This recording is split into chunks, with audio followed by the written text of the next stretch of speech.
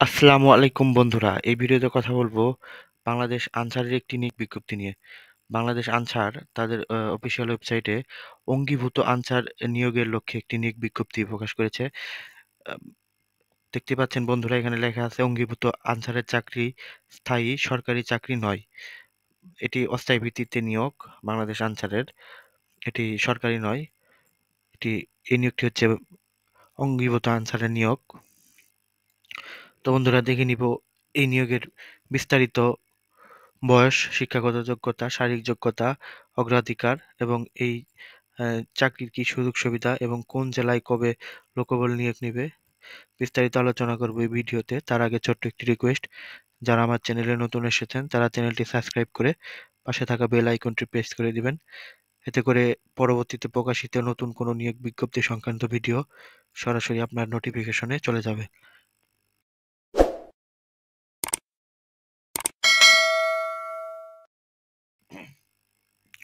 তো বন্ধুরা, কথা বলতেছিলাম বাংলাদেশ আনসারের, অঙ্গীভূত আনসারের একটি নিয়োগ বিজ্ঞপ্তি নিয়ে।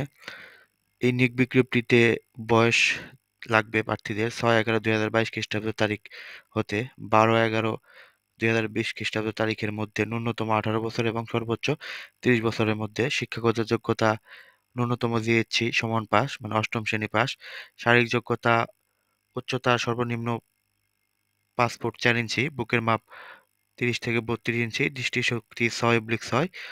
কোনো দুরাগ্য ব্যাধি থাকলে প্রার্থীকে প্রাথমিক বাছাই নির্বাচন করা হবে না।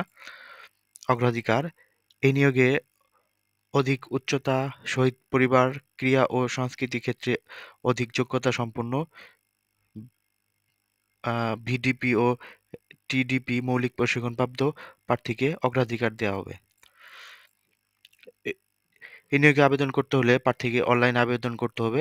অনলাইনে আবেদন করতে হলে যে কোনো কম্পিউটার থেকে W W dot A N S A R BDP dot GOV dot BD এই ওয়েবসাইটে ঢুকে পুরুষ প্রার্থীরা ছয় এগারো দুই হাজার বিশ খ্রিস্টাব্দ তারিখ রাত্র বারো ঘটিকা হতে বারো এগারো দুই হাজার বাইশ খ্রিস্টাব্দ তারিখ রাত্রি এগারোটা উনষাট ঘটিকা পর্যন্ত আবেদন করতে পারবেন। টাকা জমা দানের শেষ সময় বারো এগারো দুই হাজার বাইশ খ্রিস্টাব্দ তারিখ, সন্ধ্যা ছয় ঘটিকা পর্যন্ত। রেজিস্ট্রেশন ফি বাবদ অফেরতযোগ্য দুইশো টাকা অনলাইনে প্রদর্শিত মানি ট্রান্সফার পদ্ধতি নগদের মাধ্যমে জমা দিতে হবে। এবং আবেদন করা শেষ হলে রেজিস্ট্রেশন সম্পূর্ণ হলে প্রবেশপত্রটি প্রিন্ট করে সংরক্ষণ করতে হবে এবং বাছাইয়ের সময় অবশ্যই তা সাথে নিয়ে মাঠে যেতে হবে। এখন বন্ধুরা দেখে নিব যে বাছাইয়ের সময় মাঠে কি কি কাগজপত্র নিয়ে যেতে হবে। এক নম্বর হচ্ছে শিক্ষাগত যোগ্যতার মূল সনদ, জাতীয় পরিচয়পত্রের মূল কপি, চার্টিক সনদের মূল কপি, নাগরিক নাগরিক নাগরিকত্ব সনদের মূল copy, online registration confirmation document, প্রবেশপত্র মূল কপি, এক থেকে পর্যন্ত সকল ডকুমেন্ট গেজেটেড অফিসার কর্তৃক সত্যায়িত ফটোকপি গেজেটেড অফিসার কর্তৃক সত্যায়িত সদ্য তোলা চার কপি পাসপোর্ট সাইজের রঙিন ছবি, প্রার্থীদের পরীক্ষায় অংশগ্রহণের জন্য কলম পেন্সিল স্কেল ও ক্লিপবোর্ড সঙ্গে আনতে হবে।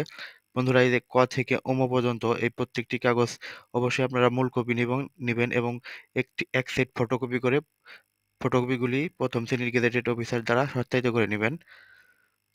তার মানে এক সেট অরিজিনাল কপি নিয়ে যাবেন, এক সেট ফটোকপি নিয়ে যাবেন।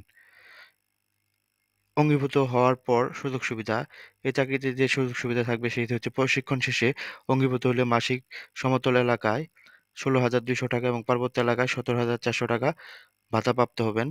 প্রতি বছর দুটি উৎসব ভাতা প্রাপ্ত হবেন, দশ হাজার টাকা হারে। দুই ইউনিট রেশন ভর্তুকি মূল্য প্রদান করা হবে।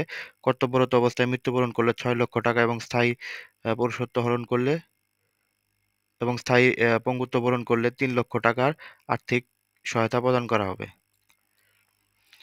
তো বন্ধুরা, এখন দেখে নিব কোন জেলায় কত তারিখে মাঠ এবং কোন জায়গায় মাঠ। বন্ধুরা দেখতে পাচ্ছেন এখানে প্রথম হচ্ছে ময়মনসিং বিভাগ। ময়মনসিং বিভাগের নেত্রকোনায় হচ্ছে রেঞ্জ কার্যালয় ময়মনসিং সকাল নয় ঘটিকায় বিশ এগারো দুই হাজার বাইশ খ্রিস্টাব্দ তারিখ, ময়মনসিংহ হচ্ছে ময়মনসিংহ রেঞ্জ কার্যালয়। বাইশ এগারো বাইশ দুই হাজার বাইশ খ্রিস্টাব্দ তারিখ, সকাল নয় ঘটিকায়। শেরপুরে হচ্ছে রেঞ্জ কার্যালয় ময়মনসিংহ তারিখ চব্বিশ এগারো দুই হাজার বাইশ খ্রিস্টাব্দ তারিখ, সকাল নয় ঘটিকায়।